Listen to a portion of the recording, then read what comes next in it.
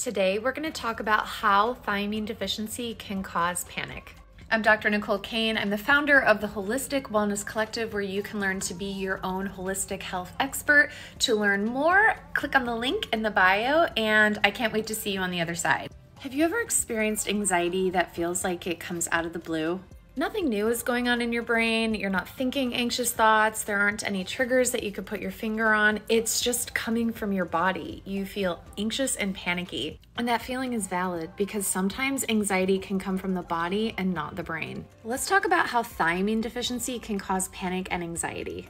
Thiamine is vitamin B1 and it has many important jobs in your body, in particular detoxifying histamine. Why do you care about histamine?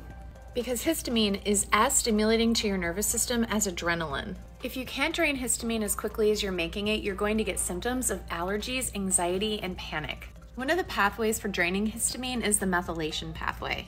It's called the histamine methyltransferase pathway. It has four steps. Step one is methylation. In this step, you make methylhistamine. In the next step, you make histamine aldehyde.